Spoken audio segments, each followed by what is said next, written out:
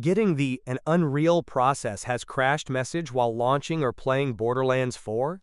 Seeing errors like low-level fatal error or GPU crash dump triggered? This video walks you through step-by-step -step fixes to resolve these Unreal Engine-related crashes and get you back into the game smoothly.